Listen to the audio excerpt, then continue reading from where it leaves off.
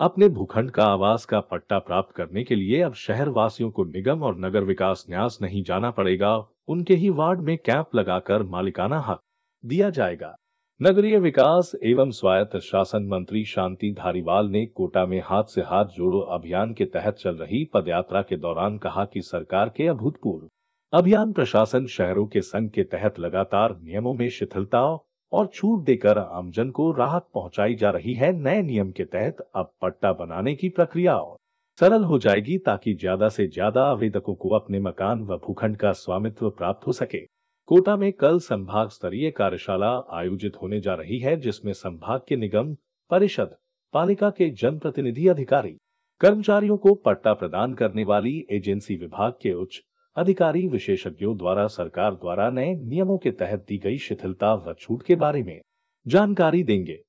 हाथ से हाथ जोड़ो अभियान के तहत पदयात्रा का कारवां आज नदी पार क्षेत्र के वार्ड 50 बूंदी रोड के नज़दीक Riddhi Siddhi Nagar Ganpati residency, Surjeet colony.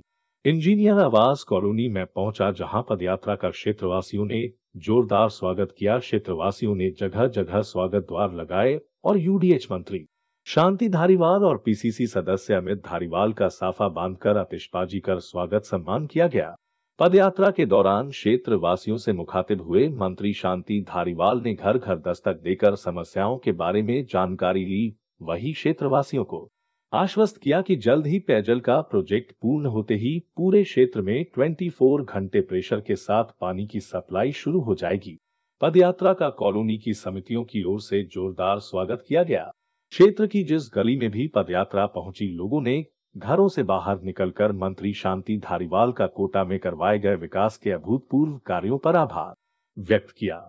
इन्हें नए सरलीकरण के जो है कोई नियम और बनाए हैं, उनको लेकर के जो है यहाँ पर पूरे डिवीज़न की हाड़ोती पूरे आड़ोती डिवीज़न की जो नगर पालिकाओं की, नगर परिषदों की और यूआईटी की बैठक कल यहाँ रखी है, वर्कशॉप होगा।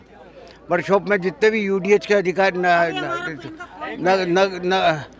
नगरीय विकास के अधिकारी हैं और स्वायत्त शासन के अधिकारी हैं और ये टाउन प्लानिंग के अधिकारी हैं, सारे के सारे लोग यहाँ पर उपस्थित होंगे। ऑडिटोरियम में जो है वो वर्कशॉप होगी।